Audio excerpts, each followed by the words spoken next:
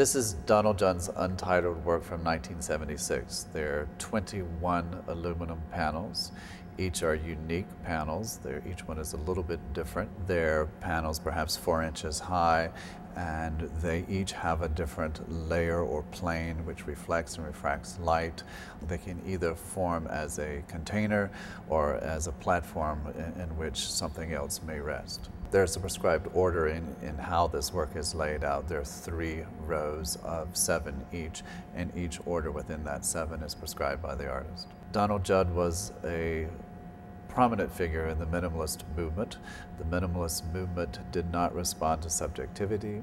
It presented work that denied the evidence of the human hand, denied any relationship to the outside world, such as a still life or portraiture or landscape. Donald Judd would have designed this and given it to a fabricator, and it was fabricated by machine work.